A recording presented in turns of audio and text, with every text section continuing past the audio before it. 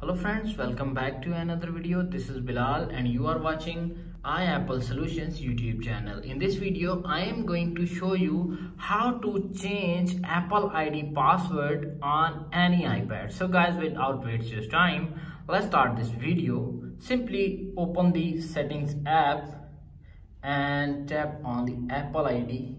You can see Apple ID is logged in and simply tap on payment and security you can see appears on screen many options like change password, two-factor authentication and simply tap on the change password.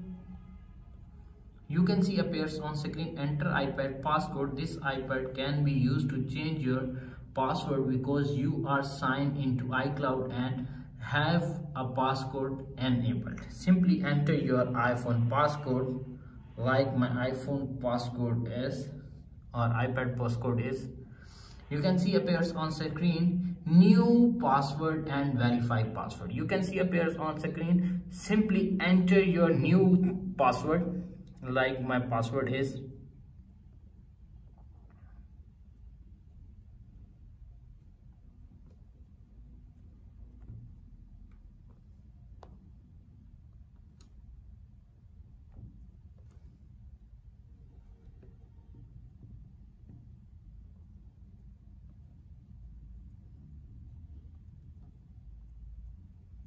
you can see tap on change.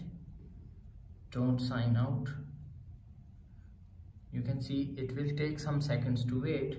You can see appears on screen verifying it will take 5 to 10 seconds wait. You can see appears on screen password change successfully.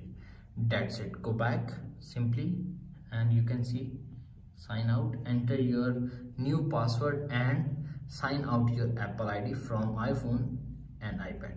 That's it. After watching this video i hope you will all know how to change apple id password on any ipad without old password. If video is helpful for you please don't forget to share and subscribe my youtube channel. Thanks for watching